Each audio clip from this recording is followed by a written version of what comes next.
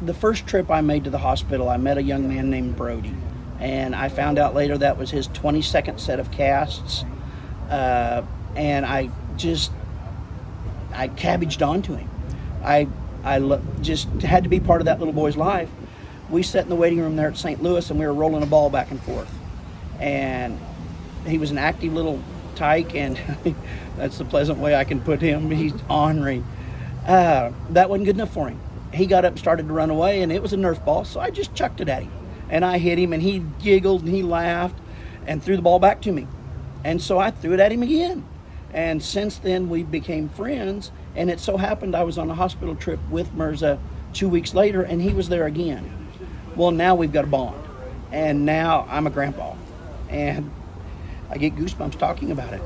He means so much to me. I've, I've helped him more than he's helped me more than I've helped him. Let me put it that way.